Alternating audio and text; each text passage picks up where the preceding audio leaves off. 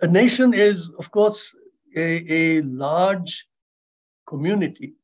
The community is much larger than face to face communities. That is to say, uh, a community in which everybody knows everybody else. A nation is much larger than that. And even though there may be millions of people in that nation, there are certain kinds of cultural uh, forms of recognition by which you would know that the other person also belongs to the same nation. That is to say, if I uh, am abroad and I meet another person who is Indian, I would know immediately that that person belongs to the same nation, even though I may have never met him and may even speak a different Indian language.